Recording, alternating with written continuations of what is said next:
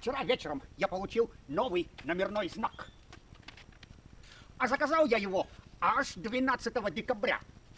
Ну, наверное, по дороге он где-то попал в обледенение. Сейчас я старый номерной знак сменю на новый.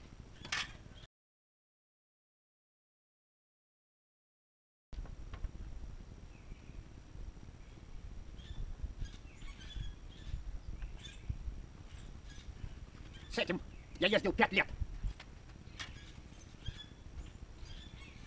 А это мой новый, который шел больше 60 дней. Наверное, американский Санта попал в обледенение.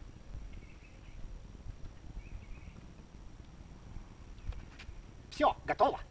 А старый я посылаю в Краснодар Сергею Дашевскому, так как он коллекционирует номерные знаки. Он еще действительный до декабря 2015 года.